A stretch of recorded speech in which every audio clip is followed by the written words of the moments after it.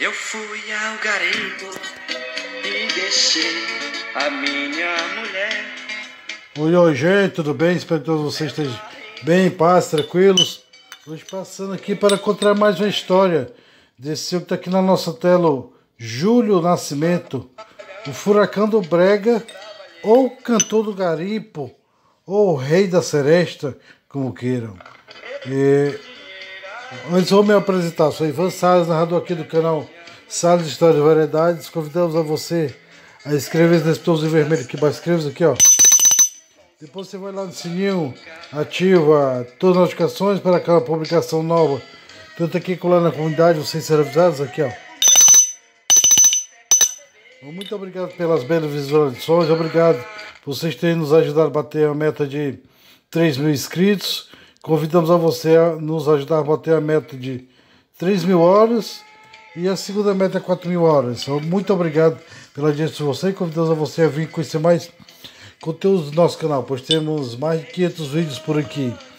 Tudo de bom a todos, forte abraço. E depois vamos à história de Júlio Nascimento. Mas antes convidar você a clicar nesse polegar aqui para cima, que as pessoas entendem como bom e o próprio YouTube recomenda a mais pessoas aqui, ó. Isso posto, vamos à história de Júlio Nascimento. O cantor Júlio Nascimento nasceu em novembro de 1974. Portanto, ele tem 49 anos. O seu nome, Júlio Nascimento, nasceu em 22 de novembro de 1974 na cidade de Colinas, Maranhão mas porém ele cresceu pelo norte e nordeste, cantando, trabalhando e nos garimpos.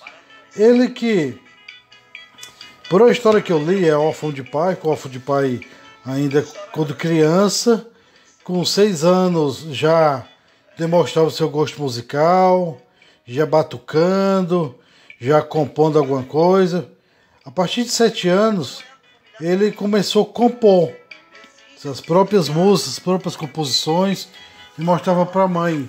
A mãe que nunca foi entusiasta da carreira de cantor do Júlio Nascimento, mas ele começou a cantar em casa mesmo, escrevendo seus caderninhos de colégio. Ele que aos 14 anos arranjou trabalho em uma fazenda e com suas economias compôs seu primeiro violão e aprendeu a tocar como muitos artistas na igreja.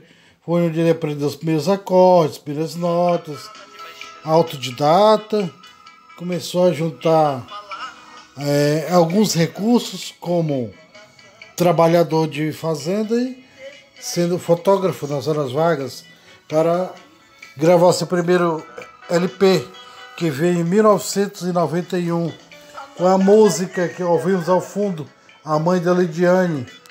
E teve a ajuda do José Calixto.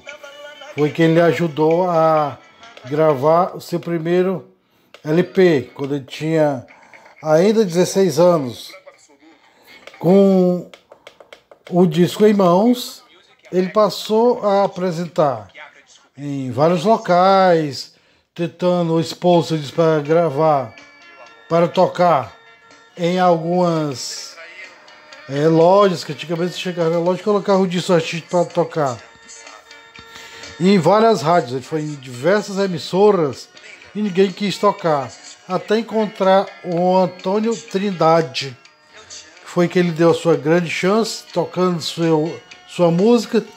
Logo que a música dele foi tocada na rádio, em 1991, a mãe da Leidiane, os telefones não pararam mais, tanto da emissora em Foco, como em diversas emissoras da cidade de Teresina, no Piauí, onde ele fez seu primeiro show, profissionalmente falando.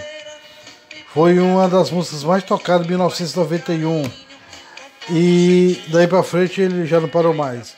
As músicas que ele tem gravado, como Lediane, a Daziza, a a prima da Dalzisa, a volta Leidiane, Lídia, Caminhoneiro Amigo, Vou Te Matar de Prazer. São, a maioria são composições suas e dos seus amigos, com música de sofrência, como nós chamamos, falando de dificuldades, de traições e muito ouvido em bass. Eu até li o, alguns artigos que diziam, ah, mas ele é só conhecido esse público de bass. Não, não é não. Ele já participou do Raul Gil, na Record, SBT, na própria TV Diário, quando a TV Diário foi nacional, ele participou diversas vezes do Silvino Neves, do próprio João Inácio Show, Sábado Alegre, o saudoso Will Nogueira e aí vai. Ele que atualmente mora em Salvador, é empresário, além de cantor, também tem a música dele, muito conhecida, Senhor do Bonfim, Vou Te Matar de Prazer, e tem muitas outras músicas de sucesso. Ele que tem mais de 30 LPs de CDs gravados. Por exemplo, o segundo LP dele é da Algisa, que ouvimos ao fundo de 1992, com muitas cópias de discos vendidas. É, o Sapatão, que é de 92.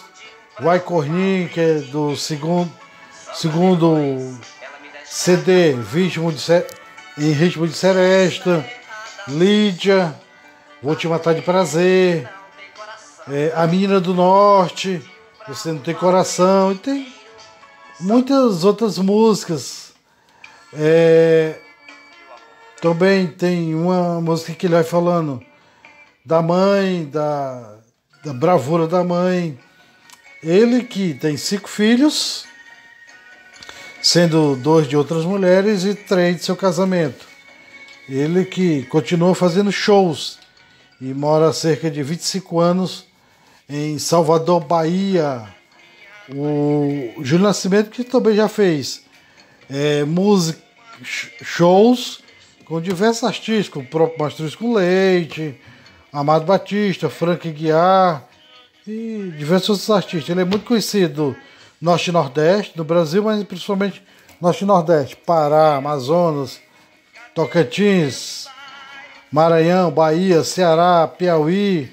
Ele tocou e toca até hoje nessas regiões mais longínquas como os interiores, naqueles bares que ficam nas fazendas, nos garimpos, cantor de garimpo, é chamado Rei do Garimpo.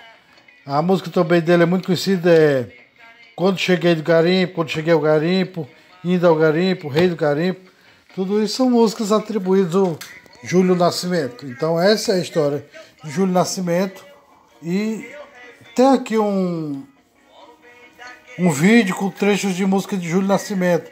Ele que gravou também com Adelino Nascimento, ele é que é de Colinas, Maranhão, a cidade aproximadamente 45 mil habitantes, está a cerca de 440 quilômetros da capital São Luís. Então, essa é a história do Júlio Nascimento. Vamos ouvir um pouquinho mais de Júlio Nascimento e eu muito obrigado pela audiência dos amigos.